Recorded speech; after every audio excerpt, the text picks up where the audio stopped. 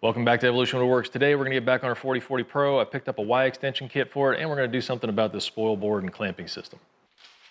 The extension kit came with everything we needed from the framework to the drive screws and even came with new hardware for everything that we had to remove.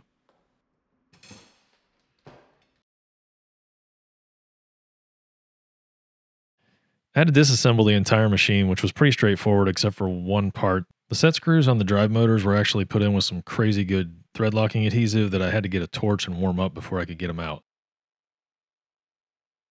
From this point, it was just a matter of reading the instructions and putting everything back together the way it was laid out in the book. I will say pay attention to the book because it does have instructions for the x axis and the y axis, and at some point I realized I was following the wrong instructions and had to backtrack a little bit. So make sure you follow the correct instructions for the kit that you're installing if you're not doing both. With that screwed back down onto the table, I think the only thing left to do is get everything cleaned up in this mess. Get my computer hooked back up, make sure everything's gonna work out right, and then we're gonna move on to building the new spoil board. With the extension installed, I went ahead and turned everything sideways and just kind of centered it up on the table to make more room. Uh, with that, I didn't have room for the computer anymore, so I moved it up here, used some hardware for an RV table. Uh, actually gives me a kind of a movable work platform. Should work out pretty well, keep it out of the dust at least. From there, I needed to replace these. This was the original base plate, which as you can see is now too short because it's the same length as the original Y-axis. So what I did, I laid down a base of three quarter inch plywood, screwed that to the table, and then put this three quarter inch MDF over top of that. And it is bolted to the machine at the ends. And then I went over here on the edges and just tacked a couple screws in just to make sure it couldn't move. And we'll lay another piece of half inch MDF over top of that for our actual spoil board. Then we can figure out our new hold down system. So we'll get the whole, get our spoil board going here and then we'll work on that.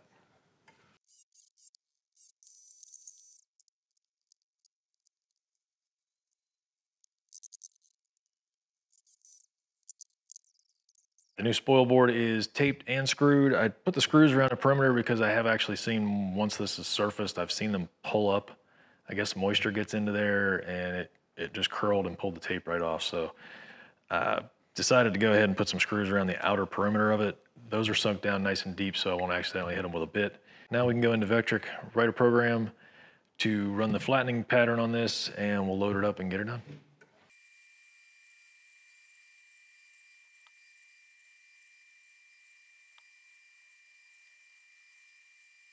First pass done, it looks pretty good. It's uh, actually didn't touch anything in this corner or this corner.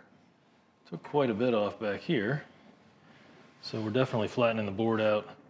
Uh, next thing I wanna do is actually tram this to make sure it's cut and square, and then we'll run one more pass on that.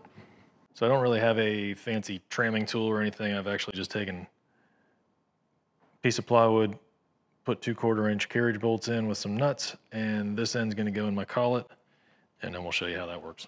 So what I've been using to flatten it is just this, uh, it's a Binstak, one inch, three wing cutter. Uh, just for flattening boards out. So I'll leave a link down in the description. You can pick one of those up from Amazon if you need it. All right, now we'll run that down. And yes, I did unplug the router, just for safety's sake. Get it down the rest of the way with the hand crank on top here.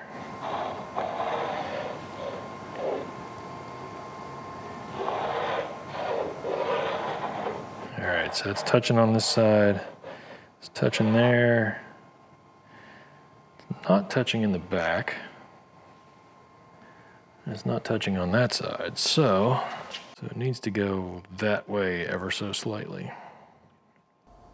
I made some adjustments to the router mount until the tramming tool was touching all the way around and then I ran the flattening pattern one more time to make sure it was flat.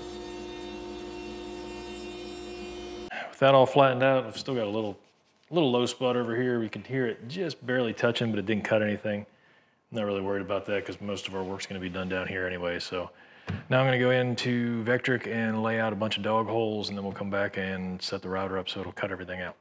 At first, I only ran the dog holes a half inch deep into the spoil board, but they just didn't seem strong enough, so I came back and ran them another quarter inch down into the subplate. I think that's gonna make these a little more stable. I didn't didn't think they were uh, going to hold up too well just in that half inch top plate.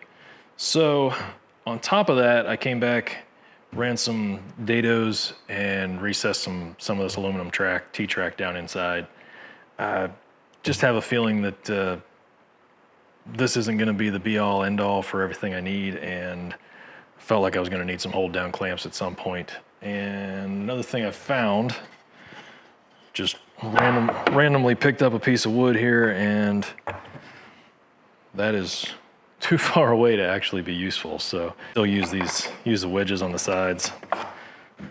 So that actually clamps in nice and fast. I put this fence around the inside. Um, that way I have a constant zero point so I can always set everything in that same spot down into the left. I think with that, put one of these in place. I think that would pretty much do everything.